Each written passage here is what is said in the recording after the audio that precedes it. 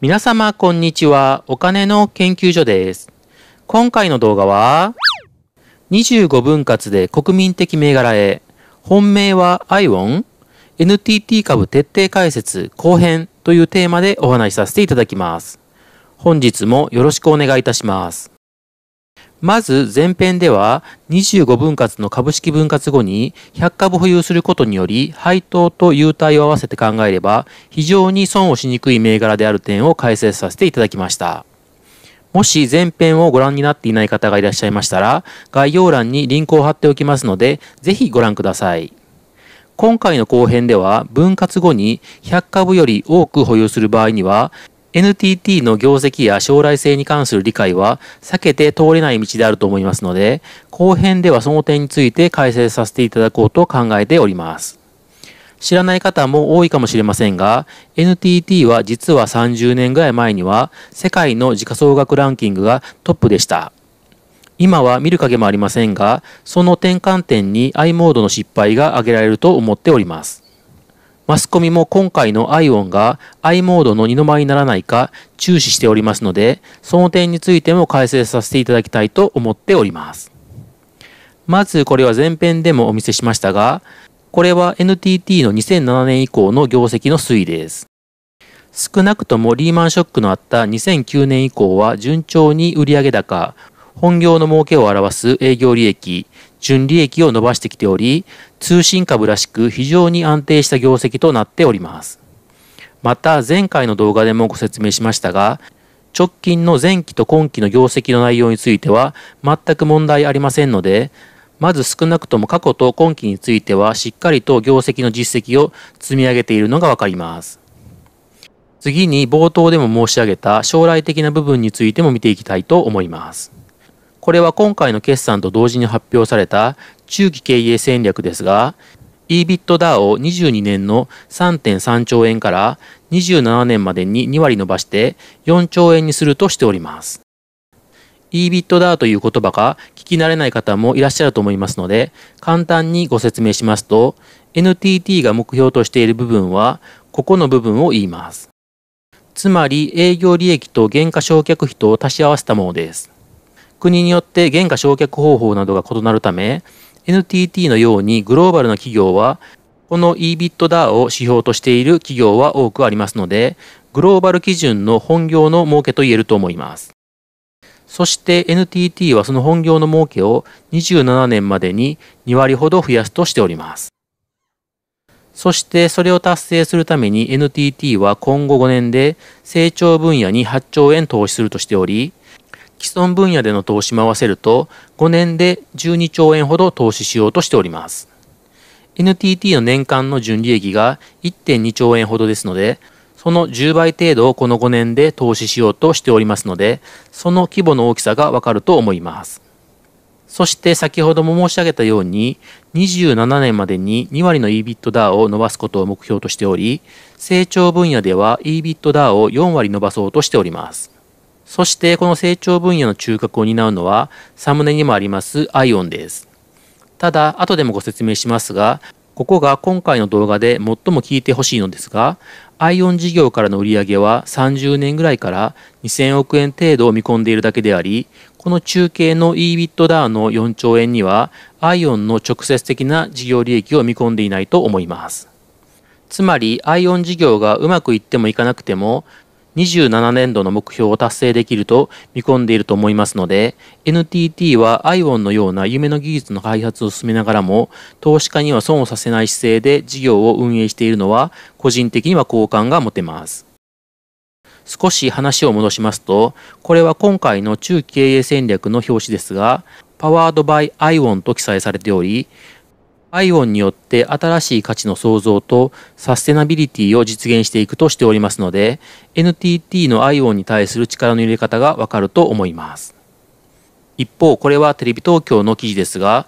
i モードでガラパゴス化が教訓に、NTT と KDDI で狙うアイオンでの派遣取りとしており、NTT の副社長もドコモの i モードの失敗について、全部私たちで作り上げて商用化し、例えば世界に展開しようとしてきたが、振り返って考えた時に欠点が浮き彫りになったとしており、失敗を繰り返さないために、ライバル企業の KDDI などとも協力していこうとしております。ただ、そもそも ION って何ですかという方もいらっしゃると思いますので、次に簡単にご説明させていただきます。まず ION は次世代の通信基盤なのですが、メリットは大きく2つです。1つはインターネットではできなかった遅延時間を一定にすることができるという点と、もう1つはスマホの充電が年に1回で済むようになる可能性があるということです。まずこの遅延時間を一定にするということは、どんなメリットがあるのかといえば、インターネットが一般道路で、アイオンが高速道路のようなイメージで、今までのインターネットにはできなかった、このスピードで確実に送る、遅延時間を一定にするということを保証できるようになるとのことです。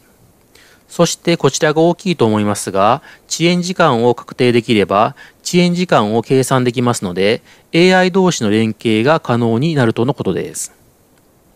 そして次にスマホの充電が年1回で済むというメリットは分かりやすいと思いますが、つまりエネルギー消費量を抑えることができ、具体的には消費電力が100分の1程度になるようです。例えば手を振ったりすることで生じる運動エネルギーのレベルで充電でき、コンセントをつながないで充電せずに長時間使えることになるとのことですので、人によっては今までの生活が一変するかもしれません。そして NTT としては i モードの二の舞は絶対に避けたいところであると思いますので、日本や海外の有名どころの企業を集めてフォーラムを開いて標準規格などを話し合って詰めているようです。そして最高技術責任者を務めた小上さんが国際的な標準化機関の要職に就くなど努力をしているとしております。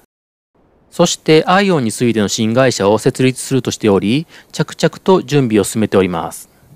NTT は ION 事業について2030年に売上高2000億円程度を見込んでいるとしております。したがって ION 事業は2030年からですので、2027年の今回の中継の目標の EBITDA4 兆円には、ION 事業の収益が含まれていないか、含まれていたとしてもわずかであると思います。したがって前編でもお話した通り、27年までは基本的に増配を続けてくれるはずですので、配当をもらいながらのんびり投資して、アイオンがうまくいって爆撃になれば、キャピタルも乗ってラッキーぐらいのスタンスで、少なくともここ数年は NTT に投資できるのではないかと考えております。最後に指標面について簡単に見ていきたいと思います。まずこれは2018年ぐらいからの PR の推移です。PR は株価を利益で割り算して求めた数字であり、純利益面から今の株価が割安か割高かを判断する一つの指標です。平均の PR が11.1倍であり、現状の PR が11.2倍であり、これまでの推移から見れば平均といったところです。また KDDI の PR が14倍程度、ソフトバンクの PR が17倍程度ですので、その点から見ても割安であると思います。次にこれは2018年ぐらいからの PBR の推移です。PBR は株価を純資産で割り算して求めた数字であり、純資産面から今の株価が割安か割高かを判断する一つの指標です。平均の PBR が1.25倍であり、現状の実績 PBR が1.64倍です。これまでの推移から考えると割高ですが、KDDI の PBR が1.86倍程度、ソフトバンクの PBR が3.24倍程度ですので、その点からは割安であると思います。次に業績のコンセンサスです。業績のコンセンサスは専門家によりなされたものであり、今期来期と順調に伸ばしていく予想としております。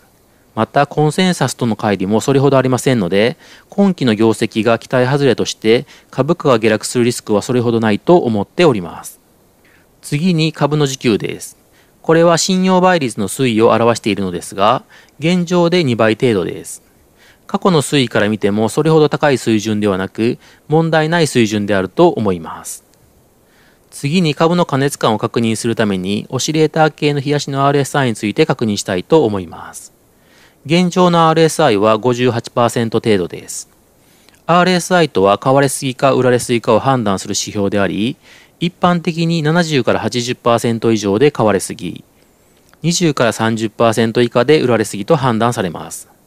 したがって現状の株価はいずれでもない水準であると思います。以上の通り、指標面、コンセンサス、需給、加熱感の点では、現状で投資にあたってマイナスになるような部分は見当たりません。前編でもお話した通り、新 NISA が始まれば国民的な銘柄になり、株価は上昇しながらも、個人株主の多さにより株価が安定する可能性が高いと思っております。もちろん投資は自己責任でお願いしたいのですが、個人的には決算直後のようなおしめがあれば、積極的に拾っていきたいと思っております。